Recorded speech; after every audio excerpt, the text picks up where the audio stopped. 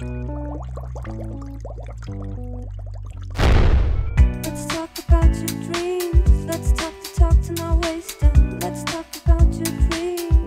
büyük hayalim insanların açlıktan ölmemesi, bizim döktüğümüz bir yemeğe başka bir insanın buna muhtaç olmaması. Diğer bir hayalim de Hollywood yıldızının önünde çay ve sigara yapmak.